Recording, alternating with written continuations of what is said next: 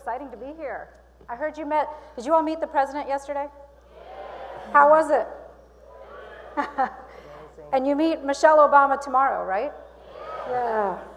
Wow, we get to be sandwiched in between the president and the first lady. We can't go wrong. um, so exciting to be here and so exciting to see all of you here because you are the ones that are making change, not only in your countries but around the world, because you're setting the pace of change for the rest of us. So it's very exciting for us to be here. And specifically on this panel, because you have such an incredible panel here that are really thinking about how to have what are ways you can have social change and how to be entrepreneurial in having social change? When we think about entrepreneurship, we largely only think about entrepreneurship in the business sector, but really there's entrepreneurship taking place in social change. And most of you are leading that, and our three panelists are leaders in that space. I hope you will be ready to ask questions. I'm only going to ask a few questions, the rest of it is open to you. And I hope you'll be prepared to uh, participate in this dialogue because it will very much be a dialogue. So let me just introduce the three speakers here really quickly. Um, first of all, my name is Sonal Shah. I am the executive director of the Beeck Center for Social Impact and Innovation at Georgetown University. Uh, prior to joining uh, the Beeck Center at Georgetown, I was the uh, office, I ran the Office of Social Innovation and Civic Participation at the White House. Uh, next to me is is Sipho Moyo. She's the Africa Director for the One campaign, uh, where she's been since 2010, and she has such an incredible background. For One, she represents One's global work across Africa. She has spent over 18 years uh, with development experience from the African Development Bank and the World Bank. Uh, she has led budget support initiatives. She has led country policy discussions on housing. She served on President Bush's Blue Ribbon Commission on Affordable Housing. She has a PhD in economics from Howard University in Washington, D.C. Yay! and she has lived in over 10 countries on three continents and traveled to more countries than I can count. So, uh, welcome, Sipho Moyo. Thank you, Sonal. Thank you for okay. So, Sipho, let me just start with you and then I'll introduce everybody along the way. Talk to, tell us a little bit about why you left the development institutions to actually really go into activism? And what is it that focused you on moving to the One campaign?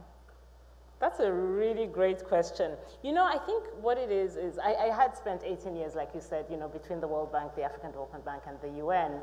And my sense was that I had no idea what civil society does, you know, or how civil society works, really. My, um, all I knew about civil society was that, particularly in Africa, civil society was on a collision course with governments. And um, I wanted to really find out how I can be in civil society and not be in a collision course, but in a way uh, just hold government accountable and uh, perhaps convince them that it is a good thing for them to be accountable. So, and I, I'm, I'm sort of glad that I made that transition. At one, we focus on holding uh, leaders to account and, um, in a sense, you know, influencing policy change. That's really important for us. And the difference between what I did before and what I do now is that in my previous, uh, in my previous life or in my previous, previous incarnations, um, my job was to, in a sense, approve projects, fund projects, and supervise projects. You know, so it was about building roads, highways, bridges, schools, hospitals, and so on. And when you do that, you know the impact. You know exactly how many people are going to benefit from it, how many trucks are going to drive on that road, how many farmers' produce is going to go through that infrastructure. Uh, but with changing policy, I think the impact is that, that many times greater mm. because uh, if you build a school, you know how many kids are going to go there. But if you change an education policy, you've changed the lives of everybody in that country, or even if you multilateralize it even better on the continent. If you change a health policy, you've changed that many more lives, you know, than if you just um, built a hospital. And it's great, somebody has to build the hospitals, but it's about bringing everything together and making a real difference.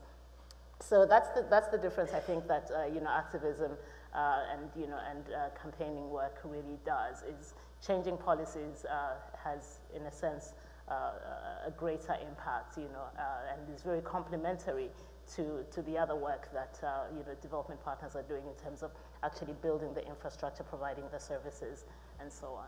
I hope we can dig into that a little bit more because I think that's an important uh, point that you make there. Uh, next to Sipho is uh, Alain Chirwisa, and I'm going to say it, pro- I said it wrong, didn't I? say it right. Alain Chirwisa, yeah, yes. right. Uh, but he goes by Alesh. Yeah. Because he is a hip hop artist.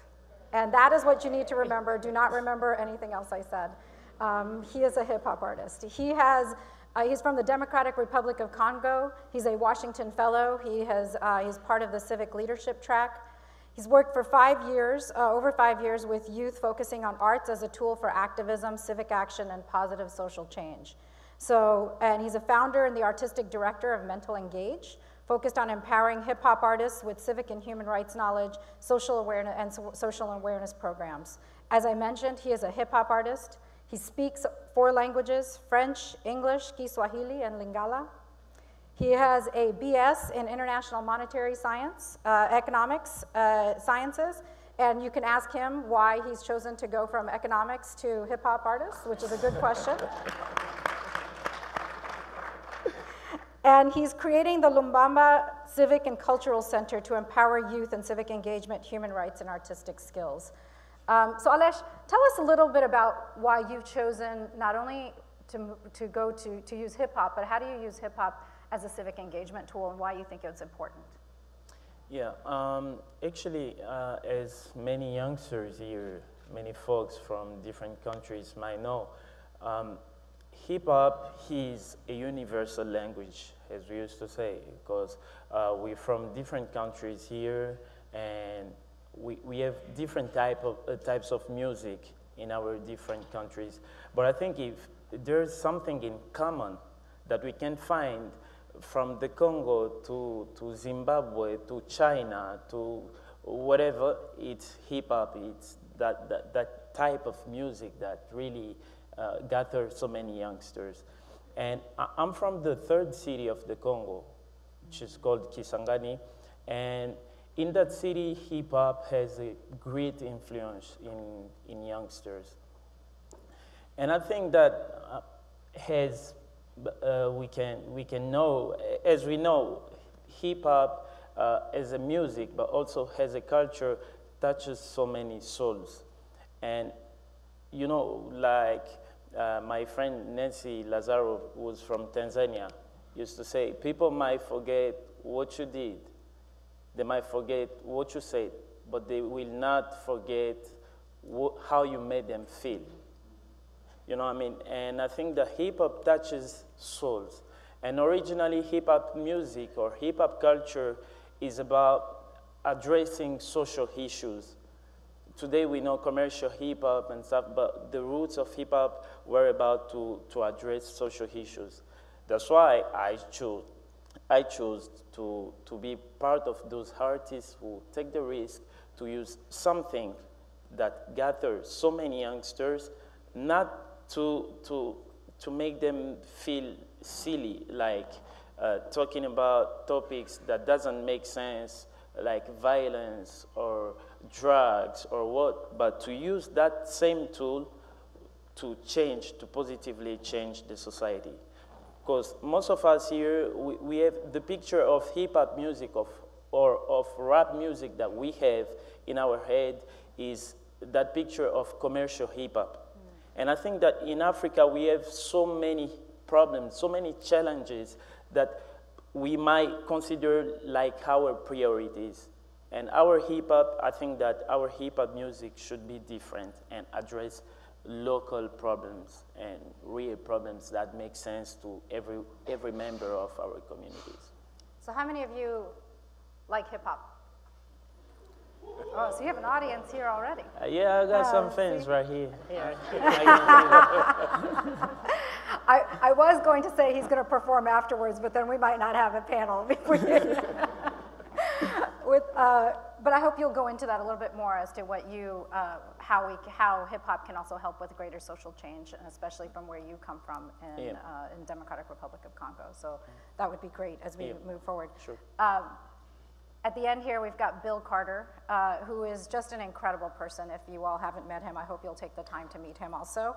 Uh, he's the Ashoka Africa Diamond Leader, director of Ashoka Africa, which is the largest network of social entrepreneurs around the world.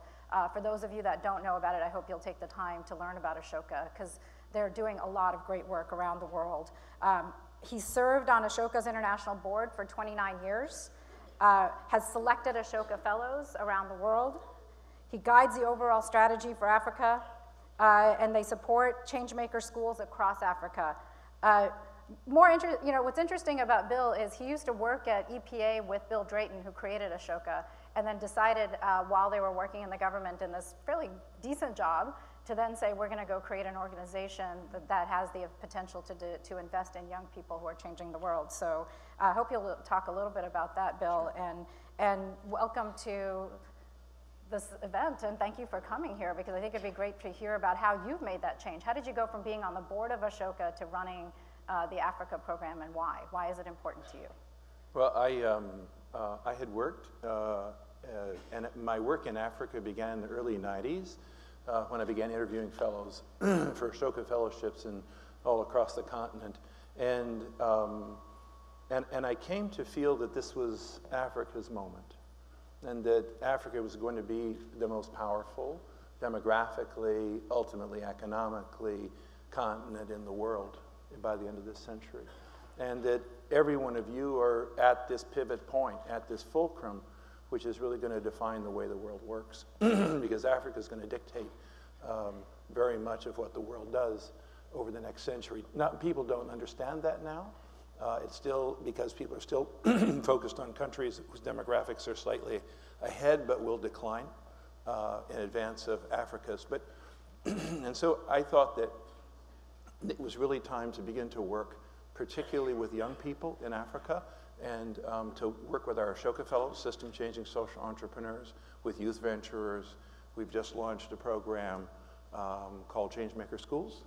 Um, and, we ha- and, and we're going to be rolling out over the next uh, several years uh, essentially a uh, sort of a from primary school, secondary school, right through to university, everyone a change maker, um, uh, set of initiatives that we're looking to partner and collaborate with people on all across Africa. So I just, and, and all of you under, I think all of you already know what I am talking about. All of you have that power. All of, and, and you have that vision and you understand the power of an everyone a change maker world and how, how important that is for Africa, particularly for Africa, and particularly now to set the foundation for your children your children's children. So thank you very much for this opportunity.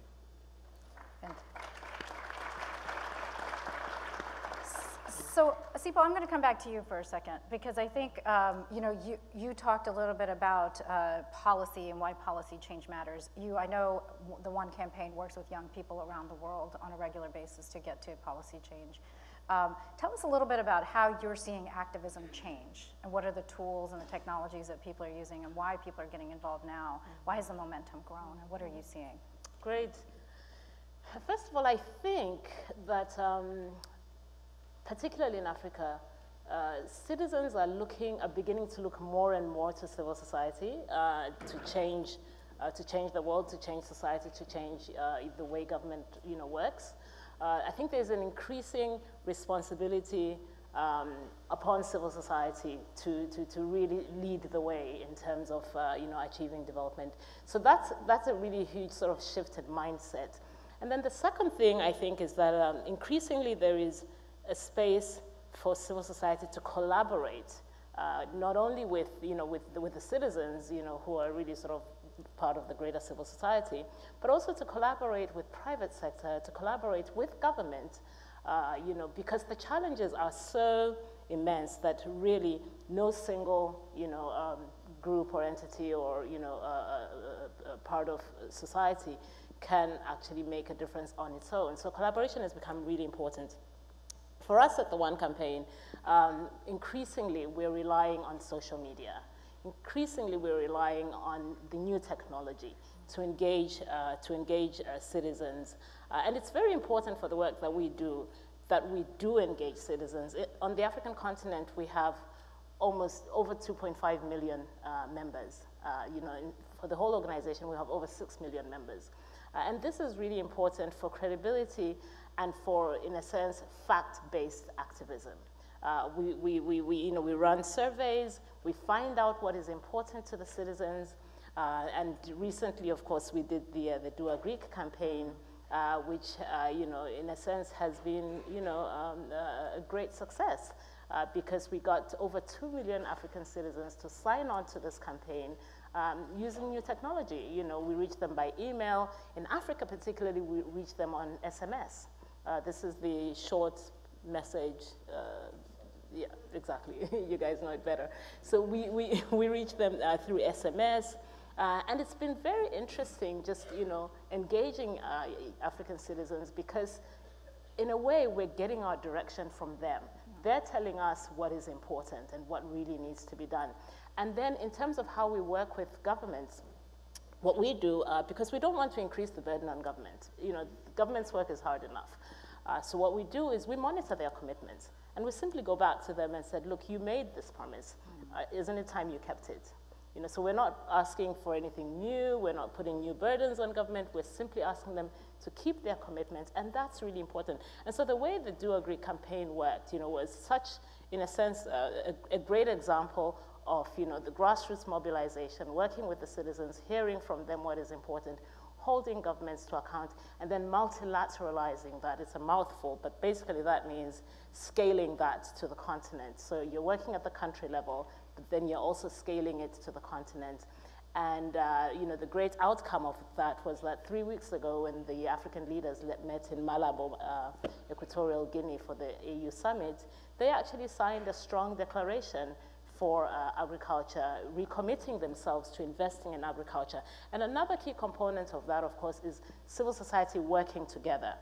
That's really key. When civil society works together, uh, there's nothing more powerful. And in this particular case, we had 120 uh, civil society organizations in Africa who signed 10 joint policy recommendations that were submitted to the African leaders, of which they actually took on 80% of those recommendations. So it's really about collaboration, and um, I think we need to fine tune those skills and um, uh, build on that model where we're partnering with civil society, we're partnering with um, citizens and getting their views and voices heard, and we're holding leaders to account. That's great.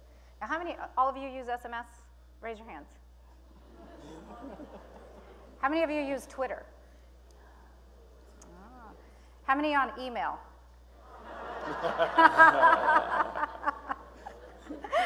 I thought I would just ask because it's the old tried immersion. what's interesting is that everyone in this room may be on email, but the average African on the street actually is on SMS more than on Yeah, email. There's agree 700, there's 700 million, uh, SMS. you know, cell phones in Africa. Yeah. I agree with you. Yeah, and, Go ahead, and, and I just wanted to make, to, to make a point about this, the importance of technology, of social medias. I think that it allows people to network so easily. And nowadays, one of the greatest benefits of those social medias uh, in Africa is that th- we've assisted to the birth of many e-activists online activists who, who, who are spreading messages according to the community's challenges, you know, through the internet.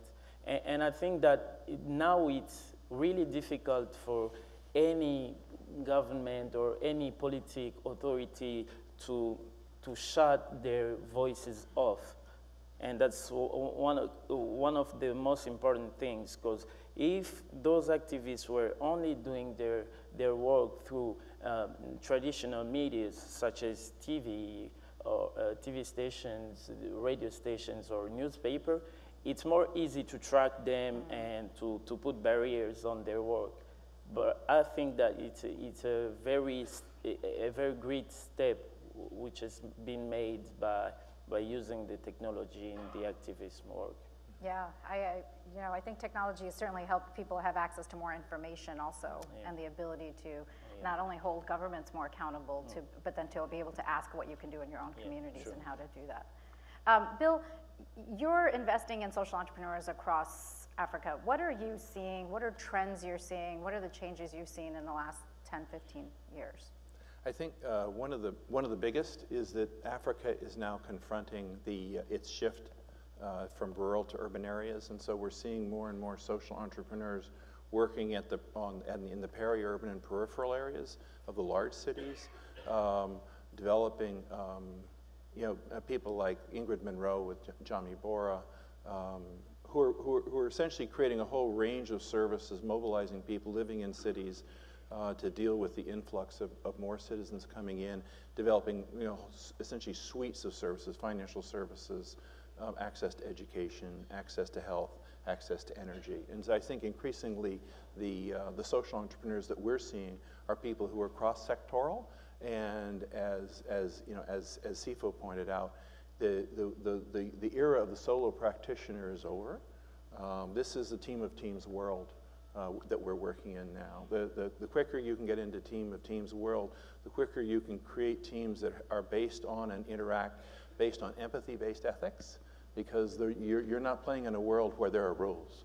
You're, you're creating the new, you're creating new protocols in which this world's gonna, is gonna function in Africa. So I, it, what we're seeing in, in uh, is in part a response to the, to the, to the, to quite a number of people moving into urban areas. Another thing that we've seen is Africans really beginning to take, and, and as you were just talking about, Alain, the, um, the ability of technology to leapfrog um, and essentially put power in the hands of citizens all over Africa. You know, the ability to essentially access, I mean, we've just seen enormous uh, increases in the number of really creative new social ideas coming out of, out of uh, social entrepreneurs coming out of Africa, uh, is spurred in part by the, the, the access that you're talking about to SMS technology. Uh, and that's been really important. And we're also seeing Africans really re-examining in a very fundamental way, which is very interesting, the issue of the, the, the, the links between agriculture, for example, and nourishment and whether their communities are being fully nourished and how, and whether and where they aren't, and what the roles of young people should be in this. Seeing more social entrepreneurs working on that, and the role of elders in this process. So there are any, and so there are any. It, it, the, the interesting thing is that the, the e-commerce, this this e-idea that you can put power in the hands of young people, is also offering Africans just across sectoral an opportunity to really, really re-examine sort of some of the fundamental challenges, health, wellness, access to nourishment, uh, access to clean water, um, that, um, that they didn't really have the power to, they didn't have that power themselves. And rather having, rather having gone through this long period that was so many of the societies that are working with Africa were pre-E for too long, right? And they developed programs and thoughts and habits of mind that were pre-E. And, but now you have in Africa a society that's really beginning to con- confront its urbanization and its transition issues in a completely e, e era. And that just gives, that, it just, it, so in some cases you just see disconnects, uh, cross-cultural disconnects in that, in that area, cross-sectoral disconnects. Uh, and and the, the, work of, the work that you all are doing in this area is really going to be pivotal to making sure that Africa makes that transition much faster and much more successfully than um, some of the societies that have had to face that transition recently in, in the 20th century. So how many of you have questions? Ah, there we go. We'll start with questions. Is there a mic? I think we have some coming around on both sides. Can we start right here? There's a mic right behind you. And can you give us your name and where you're from? Um, Thank you. Uh, I'm Ivan Collinson from Mozambique. Okay. And my question is um, Do you see uh, social entrepreneurship as a response to incompetence and failure or inability of some of our governments in Africa, even in US? If, if, if not, what is the difference? Thank great, you. Great question. Uh, do one of you wanted to start with that, or do you want to, uh, Sipho, do you want to, or why, Bill, why don't you start, and then we'll. Sure. I, I- you know, I think that the, the, the social entrepreneurship um, really um, took off uh, beginning in the, around 1980. It grew out of a realization that um, the citizen sector had been really mired. It hadn't been a rate of growth at all for hundreds of years. The business sector had. Um, but the citizen sector had been largely controlled by government and religious organizations. The rate of growth had been flat. Uh, and so economic growth had taken off. There had been no corresponding increase on the social side. And so you had all the dislocations that we're all familiar with in all of our societies. And the, it was like a big bang, right? It, it's just the, the explosion that took place and has now been sort of, you know, that, that universe that's been expanding, that's expanding all over Africa, is touching all the countries in the world. And it's, it's, it's the understanding, right, that a citizen can have a system changing a new idea and, and change their society. A citizen can take action, put together a team of people and address, and a citizen can be as entrepreneurial in society as a business entrepreneur can be in business. And in, and in fact, the thing that we were focused on beginning in 1980, which has played out, is that the business sector has become more socially conscious.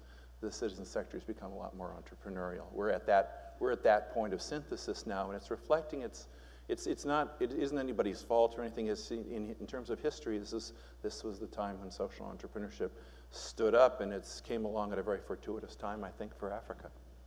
And Alesh, why don't you add to that a little bit as to why did you, for yourself, believe that it was important from being a hip hop artist to also participating in social change?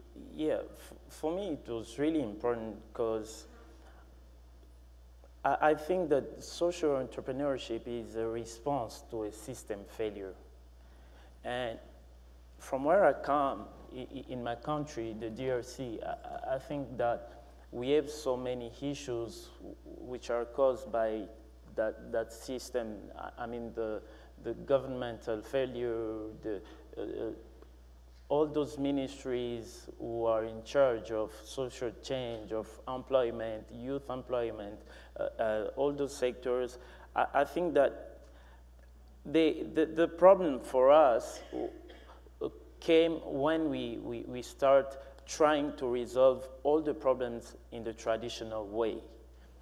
So I think that our, our youngsters, our communities uh, left all the charge to the government who was supposed to, who was supposed to resolve the uh, social issues by traditional ways. I mean, like providing formal jobs, um, uh, educating uh, in the formal education system, that means in school bench, uh, on school benches and stuff. And the society really forgot the informal part of the education. so for me, it was really innovative because uh, most of people trying to tackle um, uh, the social problems in the formal way were, uh, were falling down because, you know, I mean, it was so enormous. The problem was so huge that uh, people didn't know uh, uh where to start and where to end. So I think that uh, it's really important. It was really important to me to, to sensitize youngsters about how solution can come when we have uh, youngsters getting involved and trying to find informal ways to resolve problems. And the only mean that could do that was that tool, that music, uh, which allows youngsters to, to be gathered first, and then after, through that mean, to, to take time to call other experts, like uh, I can give an example of Bill or or somebody else for Stanley Nyekula and stuff to, to come and explain people how to get engaged in this field, how to get engaged in that field. I, I might not have all the expertise because I'm more artistic, but with my network, because I, I, travel around the world and I meet different people, I, I use my networks, you know, to empower those youngsters. And I couldn't do it if I was not doing hip hop music. And I think that uh, all of us here in this room uh, gotta try to look for a way to resolve problem with the assets that we have. Great. Um, I think we have a question on this side. Right here in the middle. Or actually, right here in the front. Sorry, right here. Apologies.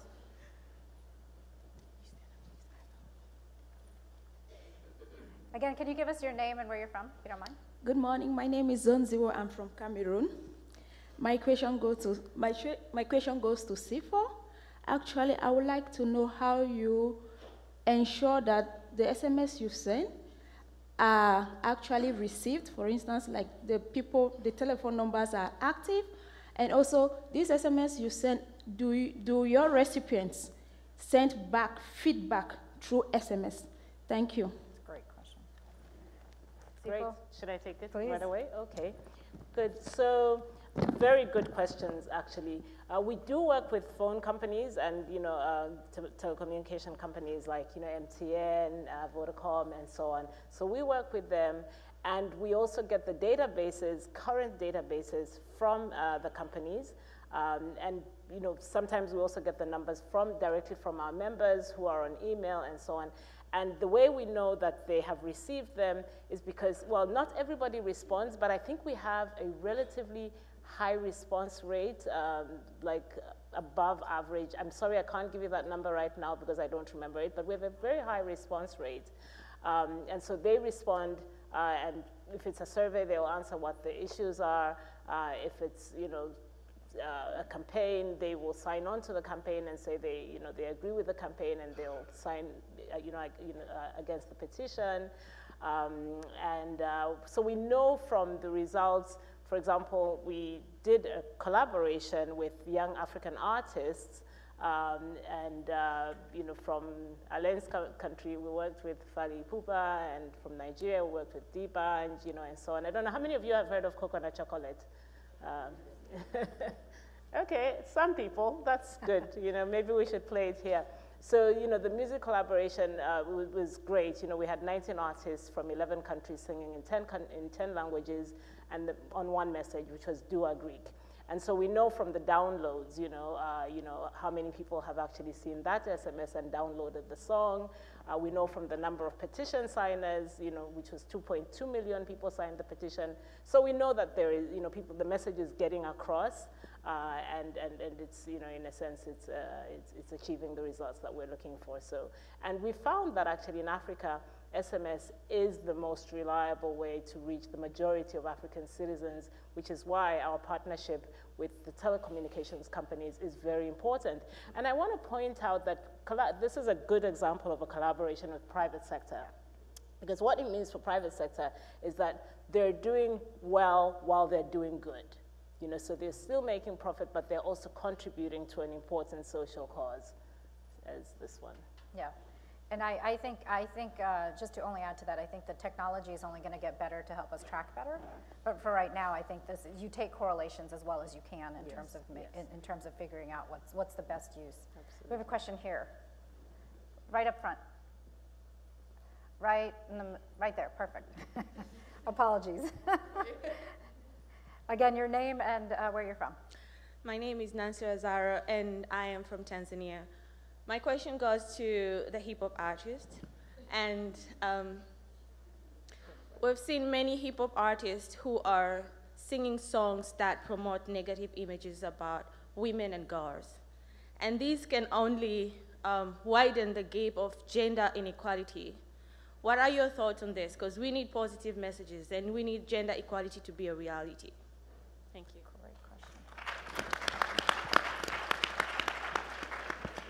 Oh, wow. Oh. I, I can see that it's a, it's a serious issue.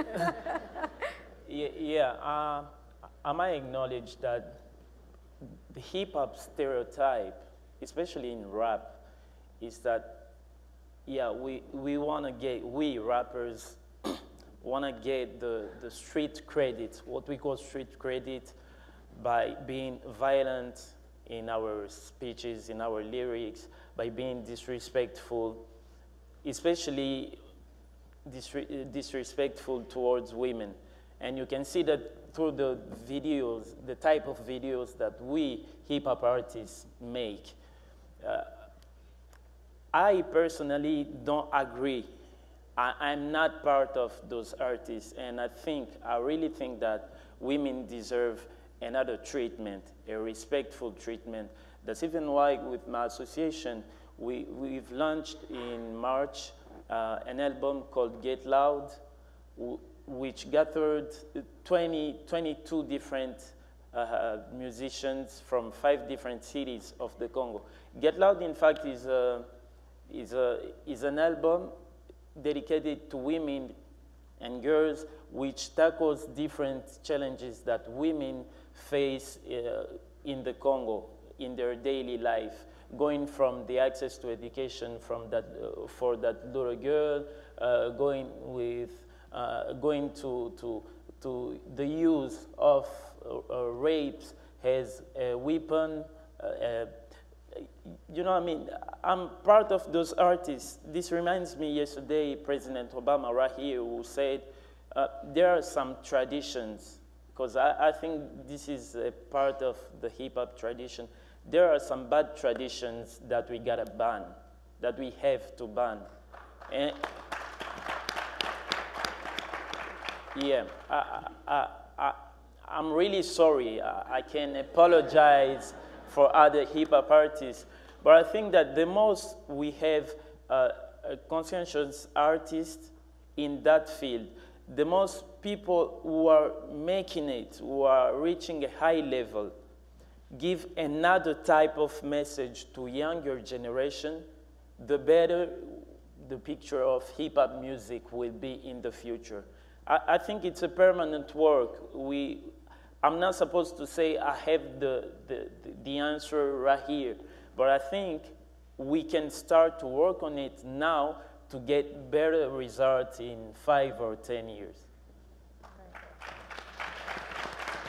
Question back here.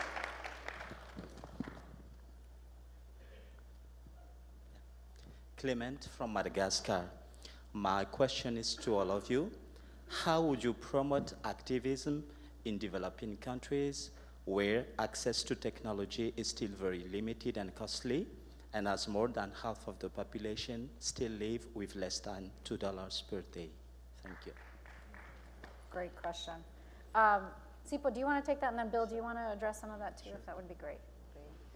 Um, great question. Can you Like- repeat that question? Because I'm not sure everybody heard it. Okay, so the question was how do we use how do we use activism in in countries where technology is not as prevalent and the majority of people still live below a dollar a day, something like that. Yeah.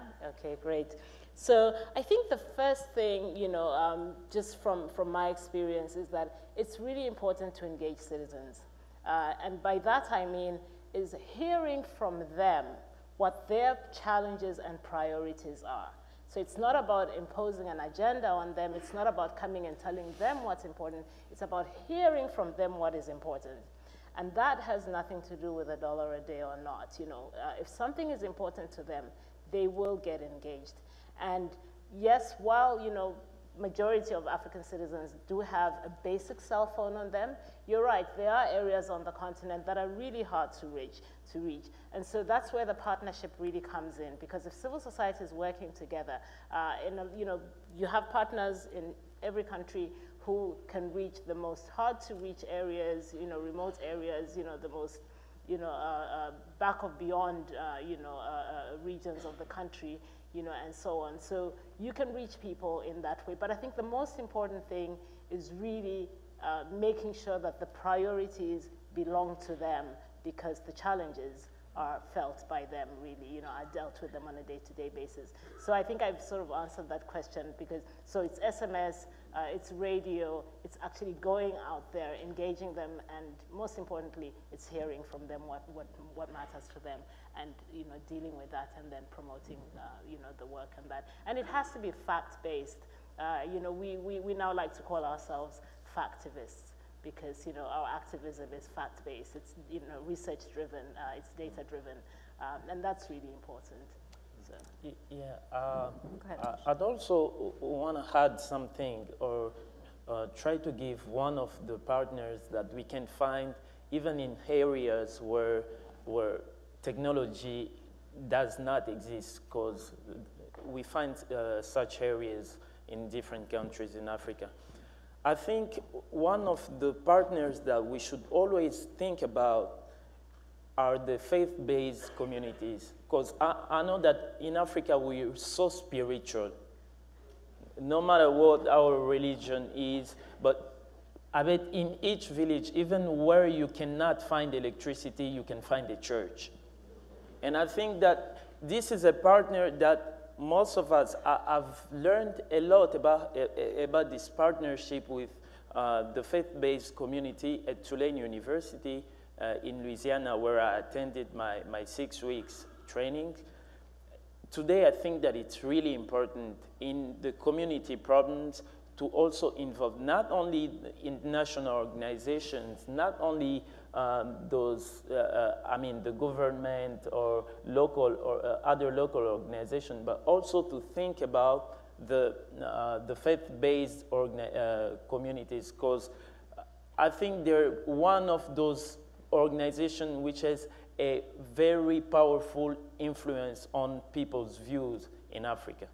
That's a very good point. Bill, as you think about finding out social entrepreneurs around Africa, like how do you think about kind of making sure all communities are represented and you're not just going to the uh, popular ones, but you can get out to the communities where, where it's getting hard to get access? Yeah, you know, I, um, one of the, uh, one of the issues that, that technology brings is um, for, for most, for, most, uh, for most people in Africa, particularly in remote, remote areas, the question is if you're going to make an investment in solar or, or you're going to make an, or that's a capital investment. And so you really have to know that that technology is going to work, right? Uh, and so building the, and so what we're seeing is a number of social entrepreneurs now that are bringing the technology, the, the ability to actually fix solar, you know, because solar, you know, solar works and then it doesn't. And if it doesn't work, then it doesn't, then your capital investment is wiped out. And if you've made it, then it's a very significant investment for a family or a community. And so we're seeing more um, social entrepreneurs now stepping into the space and saying, hey, we've got to make sure the technology works. We've got to make sure we can share the technology. Uh, the, the other thing I would say is that there's, there's just no, um, there, there's no alternative to really just hard work. Um, if you look at the Northern Rangelands Trust in Kenya, covers 25,000 square miles, is run by a council of elders drawn from the pastoralists uh, in the area. Um, and, uh, it's, it, and, it's, and, it's, and it's a well-functioning, and, and it's increasing in scope and size. It's providing livelihoods to uh, more, than, uh, more than a quarter million now, almost a half million pastoralists in that area who are balancing the needs for their population, their education, and improving roles for women, and also improving the work for the environment. It's, the challenges, I think, well, we all face these challenges, but they're, they're extremely poignant in Africa because again, it's, it's not a solo practitioner, it's not a team of teams, it's not one sector. You really have to be able to work in a cross-sectoral way, and you have to work patiently to take people through the change in the habits of mind, whether it's a young person who can, who can, hear, a, who can hear Alain perform and then say, I can dream of doing this, and then go out and do it, or taking a group of, of elders who, um, and basically taking them through the process of how do you become effective stewards in an, in an environment where the, the all the economics have been running negative for them for over, you know, for decades. How do you, when it turns around, how do you become an effective steward? Because you, the elders, have to, bal- you have to be the cross-sectoral balancers. So I think it's, it's, uh, we're seeing more work uh, uh, amongst uh, social entrepreneurs going on in, in, in, in those areas both and in terms of making sure that the technology infrastructure is supported by a social infrastructure. Great. Um, I'm going to try to take two questions at a time so we can answer them. But just to finish on, wrap up on this conversation, you know, many of you are going to be leaders in your own places, and it's going to be up to you to remember how you're going to make sure communities are included in the conversation.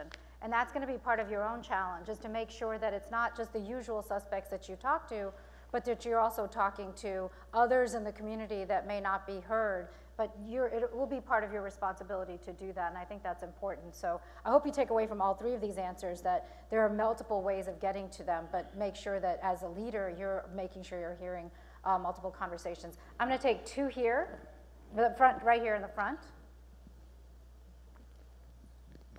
Thank you very much. My name is Lucia Thieno. I come from Uganda. My question goes to Sipho. Uh, many times we see civil society organizations competing against each other as opposed to collaborating. They don't want to share information or because they're reporting a specific donor and they don't want the other to know they'll compete and not collaborate. What's your comment on that? Thank you. So, and can we just take one or here too? Oh gosh.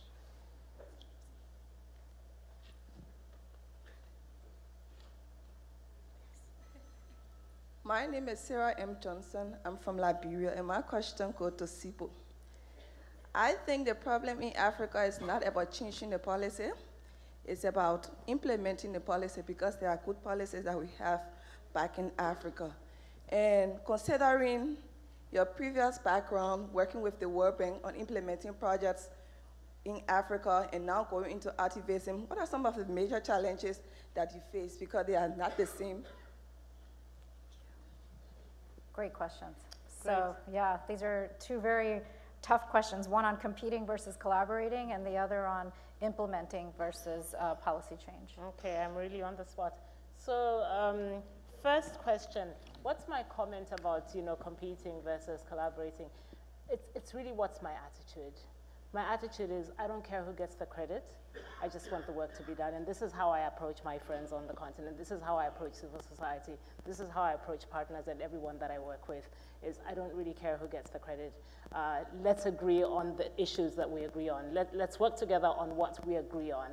Um, and the things that we don't agree on, you know, let's find other part, people who agree with us on those issues. So it's, for me, it's really about moving the needle forward uh, on issues that affect the people that we care about. Uh, and it's about you know not getting the credit but getting the results. Uh, and I think that's a very helpful approach because you know it's really about what's the one thing we can all agree on. You know, like what are the 10 points that we agree on? Let's come together on that. Forget the 150 other ones, just the 10 that we agree on, and you get sort of the coalition of the willing on those 10 points. Uh, and you come together. So it's, it's, for me, it's never about the credit. It's always about achieving the goal that we want to achieve and helping to change the lives of the people that we care about. So, um, and Sipho, when you um, when you approach it that way, do you find that people come to the table that were originally competing with you, and how do how does that process work? It's incredible. Bit? It works like a charm.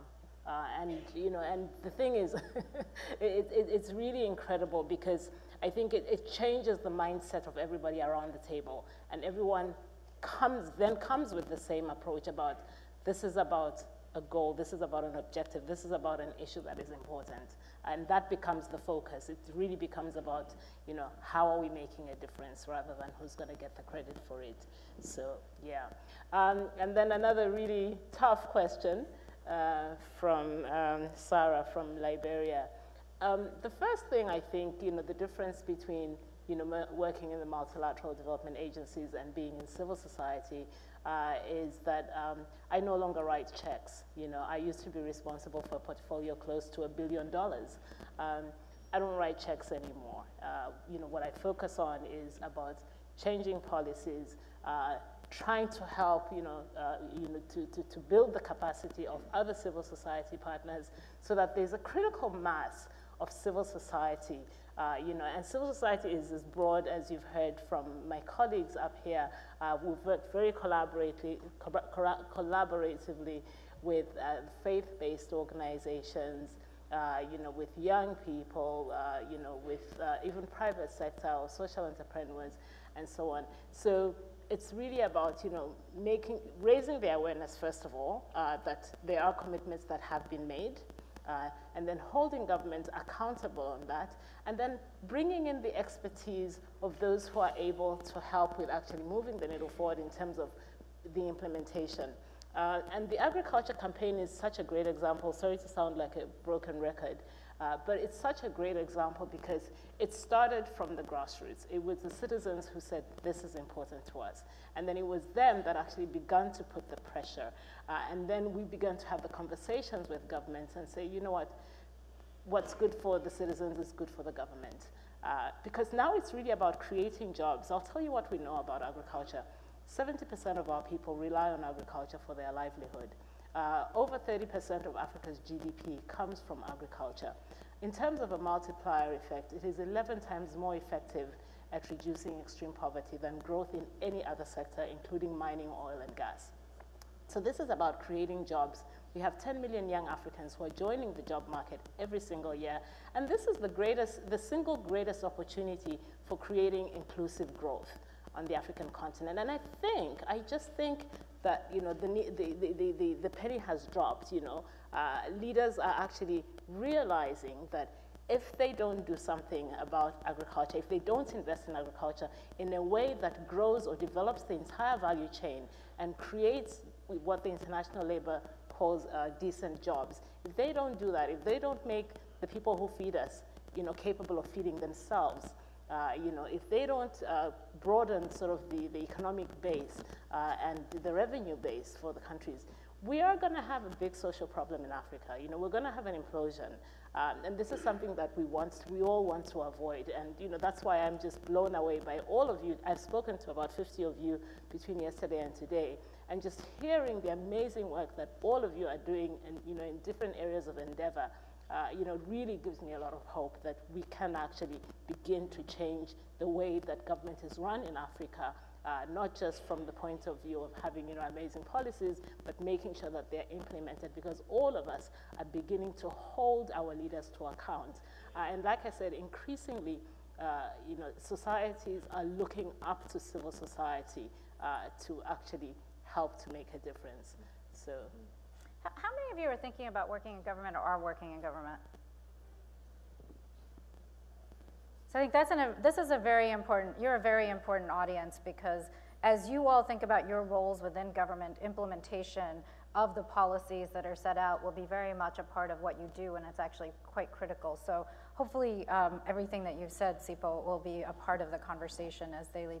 Uh, Bill, I just want to bring you in for a second. You know, you support a lot of individual social entrepreneurs in Africa. Mm. How do they collaborate, or how do you, what do you see in terms of collaboration versus competition from the way Ashoka operates and, and what you're seeing?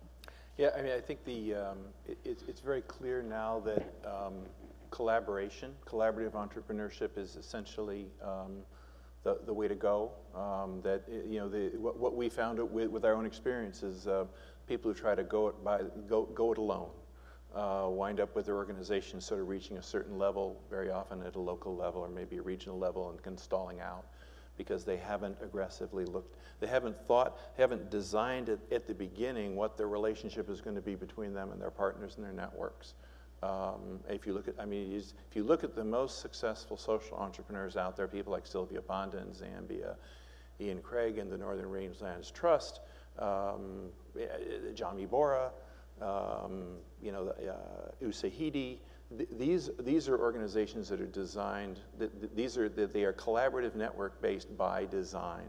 And so I think that as you, as, th that's the most important thing now, is as, as you move forward, you're really thinking about how do we design, how do we design it so that we aren't just competing with each other? How do we, how do we from the beginning, because if you don't do it, if you don't design, design it in from the beginning, then you tend to sort of lock into you know tough behavior patterns, and then find yourself um, kind of the, your, your, your ability to grow limited. So how do you how do you design in the kinds of collaboration? How do your insights? How are your insights influenced by the fact that that's the way you want to work? Who do you reach out to? Who are the other people based on empathy? based ethics who are launching endeavors that are similar to yours. How can you collaborate? How can you build something larger? If you're thinking about that right from the beginning, I think you're going to be a lot more likely to be successful whether you're in Africa or anywhere around the world. But that's, that is such a clear trend. Um, and, I, and I think it's going to be the key. To, I mean, Sipho's been talking about accountability here and the power of social media to, to translate that into accountability. It's, it's and, it, and, it's, and it's exactly this form of collaboration, right? They, taking, when a, when a community realizes who it is and what its strength is and what its voice is, then the people, then the ideas that'll come out of that, that's, that take, the, that take accountability to the next level, right? That, that, that's the fruit of collaboration, right? And that's, and, uh, and that's what the social entrepreneurs are, are, uh, the, the most successful social entrepreneurs in Africa that we're seeing are doing. I'm going to take two questions from this section, and then we'll come back to this section. So uh, there's two in the middle if you can if you can get the two there, and then we'll come back.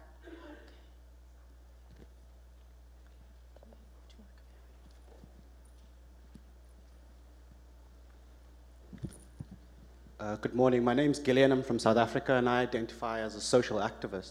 Um, I work very similar to you with young people, looking at how do you use the creative arts as a tool.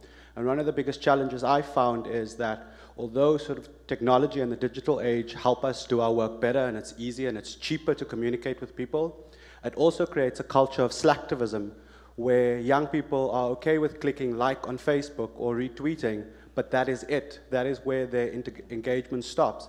And I've been looking at how do you extend that engagement to go back to activism for what it really is? How do you get young people to come to a workshop on a Saturday, to put up posters in the area, to talk to other young people? And how do you get them to actually implement sort of social action projects where action is more important and they focus on the outcome? So uh, you spoke about sort of the SMS um, programs that you run, Sipho, and I find that um, those are the type of programs where people respond to you with an SMS. And I get many SMSs back from when I send out the general message.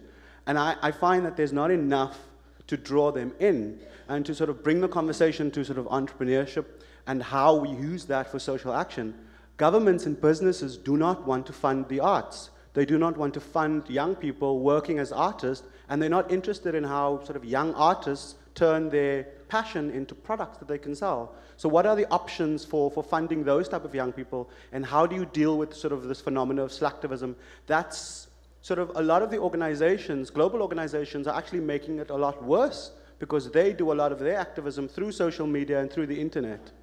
Great, thank you. There's multiple questions in that one question.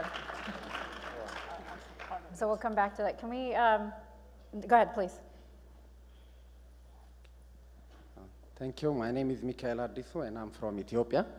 Uh, my question is also related to the one which was just asked, but uh, on activism and particularly in using the ICT and the digital media, uh, how do you make sure that the agendas that you actually try to lobby for uh, will not be transformed into unintended actions or consequences such as, for instance, because you deal with some fluid issues and agenda in some countries, uh, how do you make sure that they are not transformed into unintended consequences such as leading to the Arab Spring and other effects? So how do you actually make sure that you protect this from happening in those areas? Thank you. These are, these are two great questions, and I, you know, uh, consistently uh, great questions. So the first one, I think, uh, very important, I think for all three of you, but just to really think about, and Alesh, maybe we can start with you, which is how do you go from people wanting to be supportive to actually doing something? And then uh, on, the, on, on the technology side, how do you go from beyond the like to actually actively participating, uh, not just passively part participating? So how do we get to active engagement? And then the second one, really to think about, uh, you know, how do we answer these unintended consequences? You know, the, the good thing about information is you have access to it. The bad thing about information is everybody has access to it and it has an impact on you. So how do you, how do you think about that in today's world? So uh, Alesh, do you want to start with the first in terms of activation? As, as people come together, how do you actually actively get them to come together to do stuff? And Sipho, maybe you can take one from there too. Yeah, um, it's a very interesting question because uh, I'm also one of those people who, who use new technologies or social medias for, for, for activism. And I, I'm also one of those who think that it's not enough to click on like. It's about going down in action after that like. That's why I think that it's really important to, to collaborate effectively with the, the community in bringing together, together people, especially, especially youngsters. We, we got to reach that point where we go beyond the virtual world. And if it's an organization, for example, it's really important to, uh, after that, if you're fighting, for example, you're fighting for a cause. I remember in 2011, uh, there were a very controversial election in, in the Congo presidential election. And we started a project with, which was called Kimia Kaka, which means only peace because the main message was we only want peace. And we start from the internet. You know, we, we explained our project and told to the youngsters, especially those from the eastern part of the Congo, who think that it's really important for us to, to run this project and to tackle the problem of cultivating the peace during that time, because it was a, a, very delicate time for us. And we saw so many, uh, through our uh, Facebook fan page, we saw so many likes. And then the, the, next, step, uh, the next step was how to calm down, how to make a, a reflection session between us, how to come together, reflect together, but beyond that, that, that, that virtual world. So we called in different cities, we, we organized clubs. We organized clubs youngsters came, we talked with them, we talked with artists. We got into recording songs, broadcasting the videos, and then making, um, making event, making event that gathered the, those youngsters, and then we talked, we talked, we talked. People, I mean, different artists were there had, had different uh, influence on the youngsters. And at the end, our conclusion was that when we can, when we have that opportunity of gathering people in physic after a, a, after a virtual broadcasted call for causes, it's really important to do it. So that's a way to, to come up with a, a, a concrete, a concrete action for youngsters. Because if we don't step, if we don't step up and, and propose youngsters to come together, propose community members to come together in physics and just limit our, our actions in pedagogical actions, I, I mean, our cause will be a failure. I don't know if, if you're satisfied uh, from the answer. Really? Good? Okay, I'm happy. Because I, I, I, always, I always make sure, thank you, I always make sure that I, I, I, really reach that point where I answer to your question and to your preoccupation. But your, your, your question was so tough. And yeah, yeah. uh, you know, I mean, it, it's something I, I, really want all of you to, to, to get interacted with us and think about a lot of things, even after this hour. Yeah. You know, what I mean, it's an honor for me. I, I see a lot of critical minds in here, and it's an honor for me, you know, to discuss about, uh, to discuss about some challenges. I will also have questions for you, because now I can't, but I mean, after this hour, I will also ask you questions because I don't have answers to all the questions, to all the problems. Yeah, I, and I think, I think Alex, you make a very important point, which is in many ways you're asking us questions and we're giving you answers, but recognize that we're also processing this information and it's an input as well as an output. So you're, you're also feeding in input as time goes on and, and we're assessing this and thinking about this as we move forward too. So uh, don't assume that this is just a one-way dialogue, even though it is right now. Uh, we hope you'll, you'll continue to make this a two-way dialogue. So Sipho, do you want to take this on too? Because I think you, your sure. activism is slightly different from how Alesh is doing yes, it, which exactly. is bringing people in and actually getting them, both the virtual and the physical together. Exactly. So yes, the, the really tough question about how to move people from just supporting or liking an action to actually doing and engaging something. And I think that takes me back to what I said earlier on. Uh, the starting point is really important. Um, it's, how, it's, it's how you engage the, the, the, the, the citizens in the very first instance. The issues have to be their issues. So it, if in the first instance, this, this is an issue that they think is important, if this is an issue that they think you know, they want help pushing on, uh, then it's not just about liking. And I'll give again an example. Um, in Uganda, they have the, the, the, the you, report and U-reporters.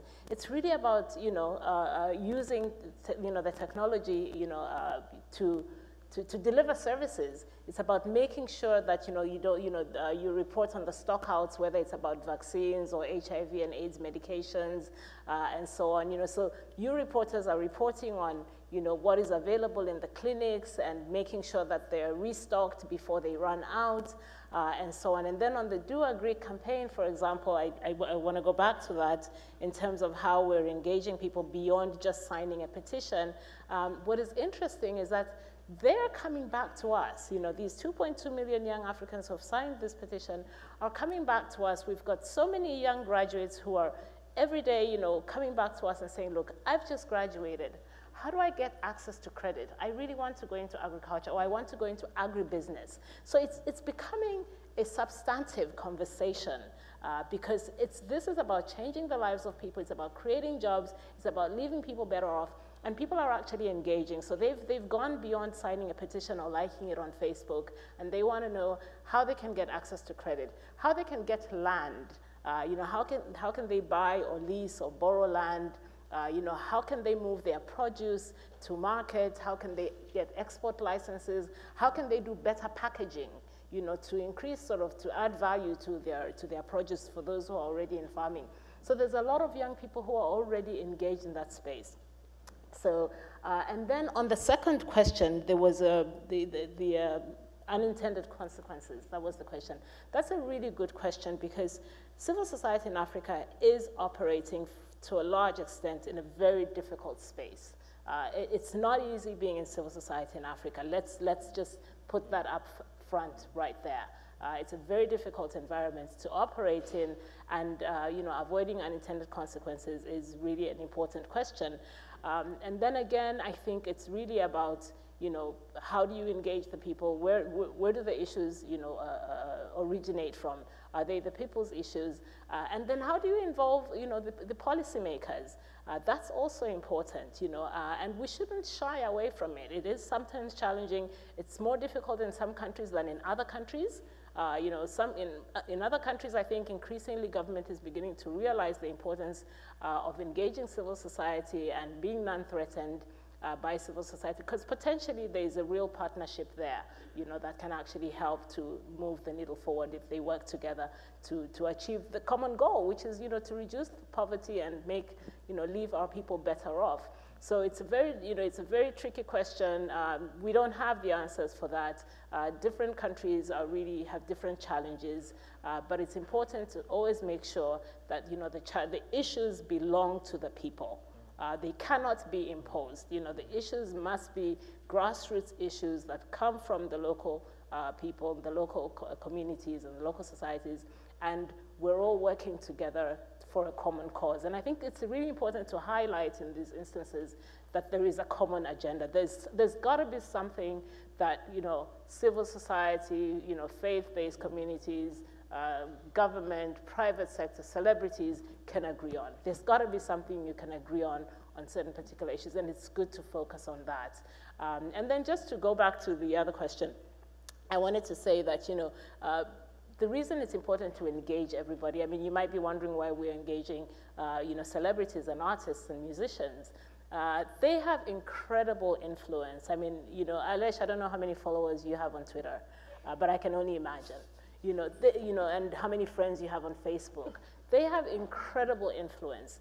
Um, and in the case of the Do Agric campaign, when you have D'banj saying, you know, I'm changing my name from the Cocoa Master to the Cocoa Farmer, wow, you know, like that just moves, you know, a whole lot of young people to start thinking, if D'banj is going to roll up his sleeves and be a farmer, I want to be a farmer too, you know. So it's, it's all about collaboration and, um, you know, working with everybody to inspire uh, sort of. And I think you make two very important points, which is, you know, one, activism and especially civic activism isn't always the easy thing to do. And it's not, I, I will say it's not just in Africa, I think around the world, actually, the challenges are being faced, whether you're in the Middle East or whether you're in India or other places. Civic activism means you're challenging current authority. And that, that is a challenge, but collaboration has a way to get around that and to really think about new ways of bringing more people into the solutions. Uh, Bill, do you want to give a take uh, the, I, I, don't know which one you want to answer, but I particularly wanted to also get you in on the unintended consequences. Yeah, just, uh, just briefly on the activism, um, just, just two observations. One is that um, Ashoka's been doing some work the last several years uh, with a with a methodology that's developed that it transfers to youth serving organizations. We started piloting it in Kenya and we're finding that we're up to the thousands of youth ventures. The key to it is getting young people. Uh, it has to be their idea. If it's top-down activism, you should care about AIDS, you should care about this, you care about that. That turns, I think, turns, I, our experience is if you give a young person an opportunity to define what their new idea is, what their issue is, and to put together a team and actually go out and do it, and support them in that and have the community be involved, that's something that they will carry with them. You can't take that away from them. They have now become, right, uh, an, a person who has the ability to express their own ideas. So I think we found that uh, to be a very helpful way of working with youth serving organizations. Uh, and, and, we're, and we're expanding that work um, uh, now rapidly. The other thing, I, the other initiative that we're seeing is, I think for better or for worse, uh, young people are in schools. And so the Changemaker Schools initiative that we have is really designed to look at where do you have schools where there are a very, very large proportion of kids who are change makers. And some of the initial work we've done, we're just electing the first 20 or so schools uh, now, and we're going to be adding another uh, 10 or so from South Africa, hopefully by the uh, early, early September. And what we're finding is that, that the schools that, are the, that have the highest proportion of change makers aren't the elite schools, right? Those, they're the schools where the change leader understands that there's a mission beyond the, the immediate mission of educating. There's schools that are very heavily based in empathy-based ethics.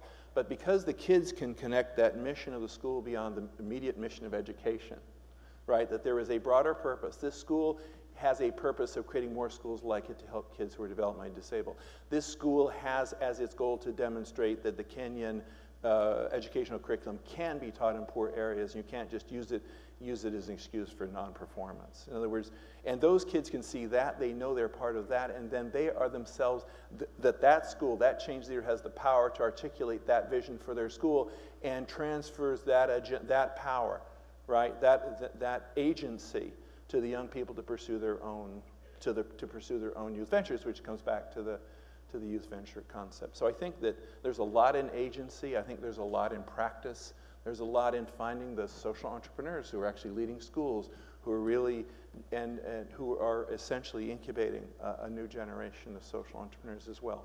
So I think I just, I would point to that and hope that we can, in South Africa, that way perhaps we can collaborate on the, you know, with some of the, up, the upcoming schools that will be chosen in, in the Changemaker school process. So we're going to take two rounds of rapid questions at this point because we're going to run out of time. So one here, one right in the front, and then one right back there, please. Thank you very much. Right here in the front. Go ahead, please. Thank you very much. My name is Mohamed Zaruddin Umar. I'm a civil servant working with the Bauchi State Government. And my question really goes to social media.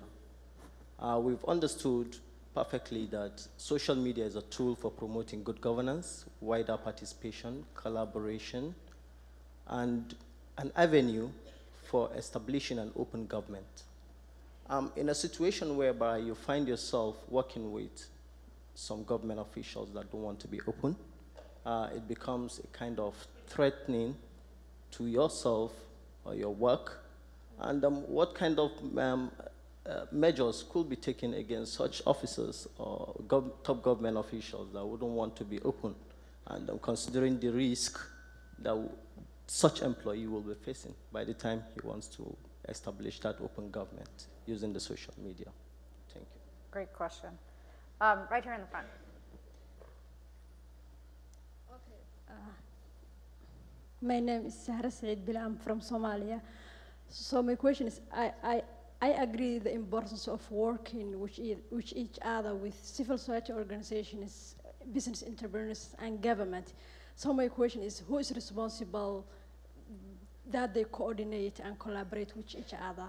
Do we need an, a coordination office or anyone in the, in the citizen can take that responsibility to make sure that they work with each other?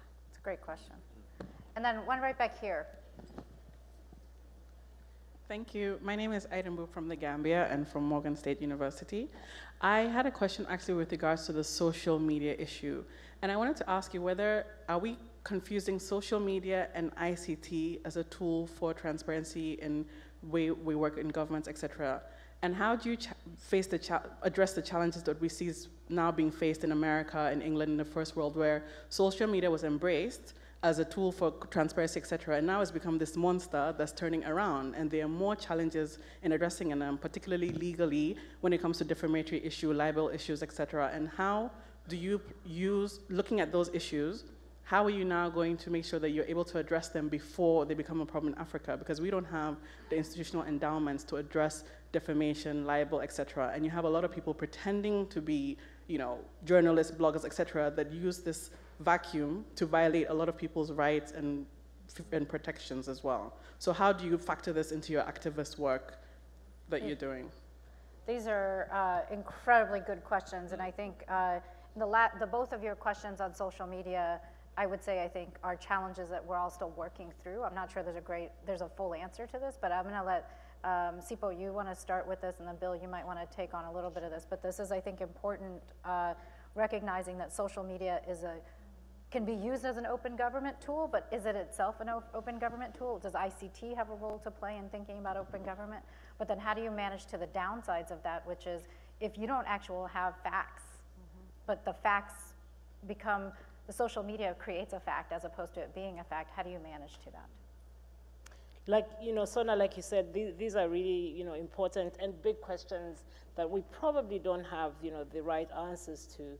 Uh, you know, but I think, you know, uh, uh, clearly where, you know, uh, you know, facts are being created that are not facts, uh, you know, I think there's issues of illegality and, you know, and that sort of thing. And I think, you know, crimes should just be prosecuted. If someone is committing a crime, you know, they probably should just be prosecuted. But it's a really fine line and it's not, it's not a, such a straightforward answer. It's also about working in a really di difficult environment where the work that, you know, that maybe bloggers are doing can be taken out of context or can be used against them just because it, uh, it's not favorable to, to, to, to, the authorities and so on. Really challenging questions, I would say, uh, but it's really, you know, I think we, we, we do need to be more careful. Uh, what is encouraging is that I think more and more uh, governments, particularly in Africa, are signing up to, to the Open Government Initiative. You know, Tanzania is a really great example, uh, and so on, and, you know, using, uh, uh, using ICT,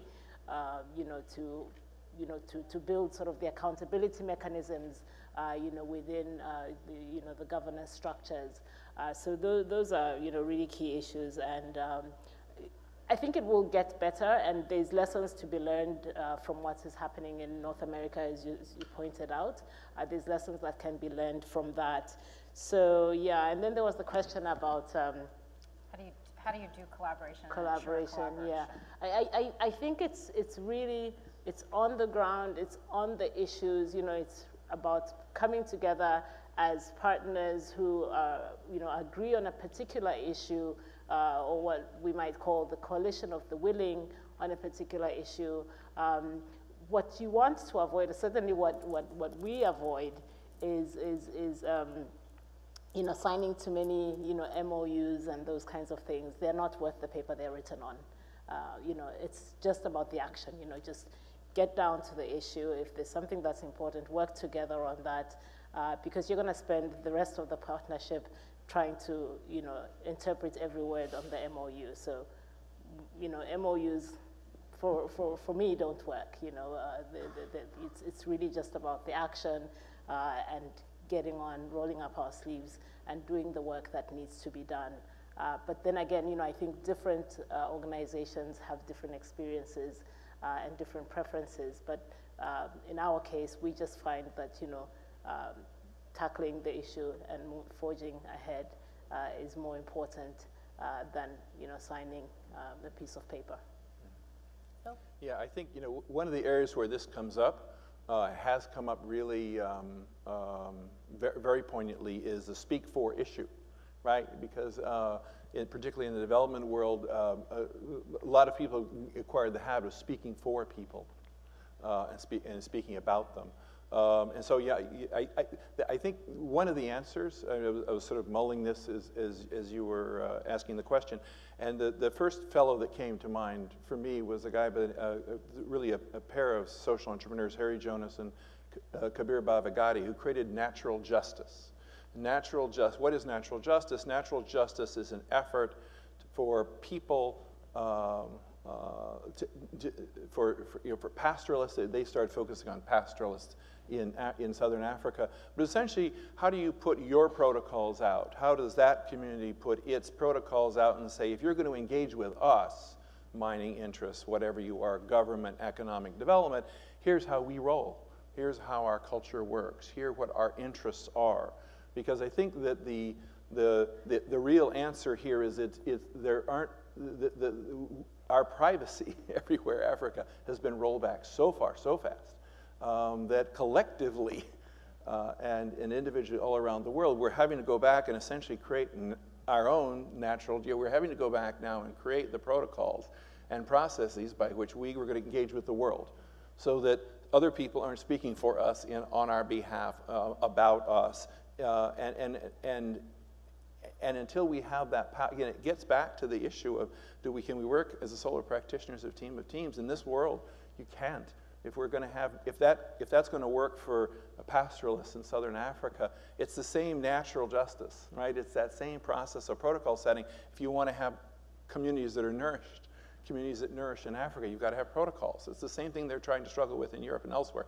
Our, our issues are all the same around the world. And I think, and it's that whole, it is, it is that, it, that is that that we are engaged in now. It's that that is the critical task for all, for all of us here, which is what are the protocols in our community that we're going to set so by which we're going to be understood in our communities around the world so people understand and can engage with us. And when people who want to engage with us in a, in a way that's not proper, not right, and, and that we can, we can spot that. And right now, we, we're just in the beginning stages of doing that work. So two questions. We'll take one from each of these uh, corners here in the middle. Uh, one here, right here, please. And then just really quickly before we go on to the next questions, in terms of open government and social media, we should separate those two slightly. Open government is when government can release its information and make it available to citizens so they can do something with it, whether it's researchers or others. Social media has an is slightly more activism in terms of how do you get people activated as to what's happening, what they could read, what they could do. Uh, both of those things are not always the same things, and I think sometimes we, can, we combine those two things and it's, it's not always the same. I do think the value of social media is that it has the potential to activate people, but it's also inherent upon all of us to read that information and ask the questions as to what am I reading and what's the data I'm looking at, as opposed to just believing it because it's an opinion that someone puts out there. Opinions are only opinions. It's your job to make sure you're asking the next set of questions. So one question here and one question right here, please. My name is Humphrey Anjoga from Uganda. My question is to all of you.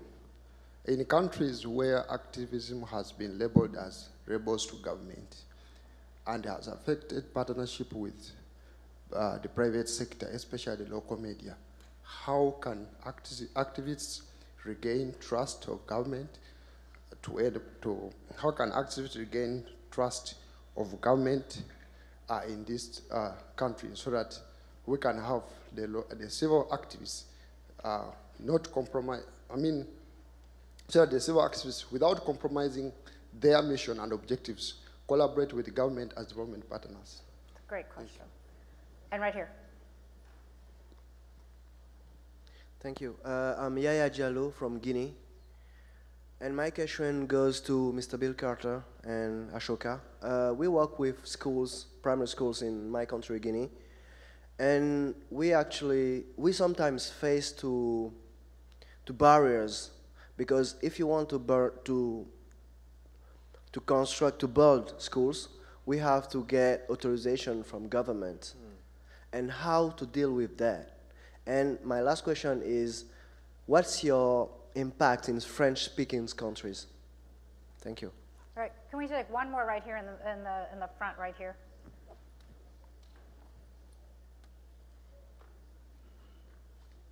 This is the last question for us, so sorry we're going to have to cut off because I think we're cutting off on time pretty soon.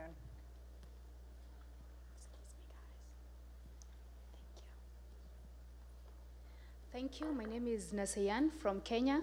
Uh, my question, I have two questions, sorry, for being the last and have two questions. One is uh, for Sipho. Uh, you've been talking about activism and that the fact that you, uh, the, the things that your campaign is based on data and facts. So my question is, how do you relate this with the human face? How do you know this is creating a human face and a social change mm. instead of just data and the, the damage or the challenge of being abstract in terms of it's just data and it's just a click. How do you make that human and have a change? And the other thing is we're talking about technology and creating social activism. And how do you reach that to isolated areas, which uh, most of the places are isolated or unreachable, and in terms of they're receiving SMSs, and how do you, and most of the people there are illiterate. How do they interpret this data to achieve what you want to achieve? Thank you.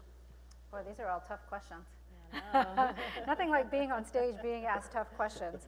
Um, so two major questions. One, uh, one definitely on collaboration. How do you work with government to get to outcomes? And what are ways to actually effectively work together with government on social activism? Is that, is that correct? And then the other question, uh, really looking at uh, Bill, specifically to you in terms of uh, they're working with the schools in Guinea. And uh, how do you get authorization from the governments themselves as, as that's what's needed to make that happen? And I think this last question, very important also, which is how do you make sure that the human face is not lost in just the abstract of data and technology, but that you incorporate the people into this, and then how do you get to the, the isolated areas? So the challenge for all of you is that we're running out of time. So if you can do this in a rapid uh, format, that would be great. Now, Alesh, I want to make sure, you, uh, I'm going to have you go last on this because I think it's important that you do that, but if we can start with Sipho, uh, Bill, and then Alesh, you close out for us. Okay, good. So the first question about uh, regaining trust with government, I think that's a really important question. And I do want to point out, you know, in this forum that uh, it's not just about civil society uh, holding governments to account. Civil society has a responsibility to be accountable as well.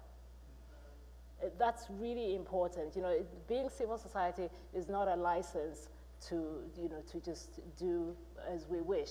Uh, it's important for us to be accountable, and the question is, who are we accountable to? So that's something that really has to be considered. I'm not going to go into depth, but it's really important. It's about being accountable equally uh, to, to, to, to, to the people that we say we represent, who are really the citizens. Uh, and I think that's a good way of just, it's a double-edged sword, it's a double-sided coin. Uh, it's about holding government to account, but also holding ourselves to account and agreeing to be held accountable. Uh, then on the second question um, about a human face, uh, I'll give the example of the Do Agric campaign, which is just closed out. We're actually just closing it out this week. And what we did, what we did, that's an example of how we operate on all our campaigns is we will go from country to country, crisscross the continent, uh, hold policy forums uh, that bring together all of the stakeholders. In the case of agriculture, you bring together the local farmers, you bring the farmers associations, other civil society organizations who are interested in that issue, policymakers who are involved in making, uh, shaping agricultural policies, uh, you know, the, the, the opinion shapers and formers, the local artists, bring everybody together in a policy forum and have a real discussion about what are the challenges in this country, not in the next country, in this country, what are the challenges? What are the things that we think government can do better? What are the things that we think government is doing well? Uh, and then government can also say, this is a role we see for private sector. The farmers can also talk about how some of the policies have harmed them and not helped them. So it's really about bringing the, you know, the faces and the voices of the real people on the ground to a conversation that leads to sort of real priorities that everyone can agree on. So it's not, you know, it's going beyond just the, the social media. And I, we, we find that's a really important key is bringing people together because that also removes sort of the threatening element, you know, when people can sit together in the same room and argue and agree or disagree, uh, that's really important. Bill? Yeah, I think, I think the, the, the, the message for activists is you, that we just really have to raise our game. Yeah, I think we have to, I think that the, um, that, that pattern of, of confronting government with, with, uh, with problems uh, is, a, is a historical one, traditional one. We know in a lot, a lot of different societies, but I think the, the, the, the, challenge now is for activists to become entrepreneurs, to bring solutions, um, and to start focusing on who are those people in government they can work with. How can, so you, you, don't just, you don't, government doesn't exist, right? You're people right? You've got to go find the people you can work with because once they find they can work with with civil society groups, they'll tell they you know they tell they tell their fellow ministers, their fellow governors, and suddenly governors find that they, they, they're not in the headlines for being criticized for things. They can be part of solutions. So you just have to be strategic, right? You have to be entrepreneurial. Activism, I think, qua activism is just not a viable, isn't viable anymore. It just that just seems to be the lesson of the last 30 years. Um, and and I just. Um, uh, I, I, was just asked a particular question about uh, uh, Guinea. Um, Ashoka's been working in the Sahelian countries since the early 90s. We've got a very strong fellowship in Burkina Faso, Senegal, and Mali, and happy to talk about that, you know, just at ex parte. Yeah, it's like one-on-one communication, but uh, we're not in Guinea yet. Uh, would love to be. Um, and um, and I, I don't know the, I don't, I frankly don't have an answer to your question of how the, if the government's stuck keeping people from creating uh, schools you know, how to respond to that. Just off the top of my head, I don't know. Right. Alesh. Yeah. Um, I, I wanted to step on this point of activism and regaining the trust of the government. I first must mention something. Activism is not always about being against the government all the time. We're not supposed to be in a permanent confrontation with the government. So one, one hitting her chorus. Yeah, that's true. I like applauses. yeah, I like it. Yeah, so one of the solutions that I can say, because we're not there just to point out all the time, we, we, must acknowledge that our government has also some positive initiatives. And yeah, my proposition to you will be to, to get them involved, you know, from the conception. When you, when you have a project, uh, when you and your organization are planning to do something, because you're supposed to to, to do things to positively impact on the community. And I'm not sure that your government will be against that initiative. So one of the things would be, yeah, to, to go toward to the government, because you have nothing to lose if the government says no.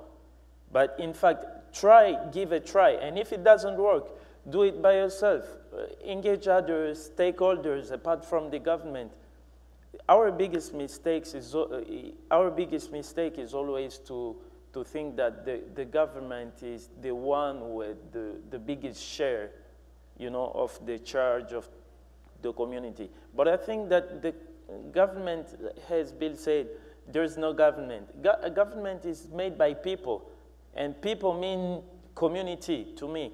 And I think that all the stakeholders gotta be responsible at the same level. And then if the government says no, okay, let's go toward other stakeholders and try to make things happen. So I think, first of all, let's give everybody here a round of applause because they.